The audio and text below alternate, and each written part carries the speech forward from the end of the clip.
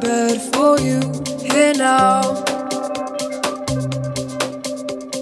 I can feel my instincts here for you here now.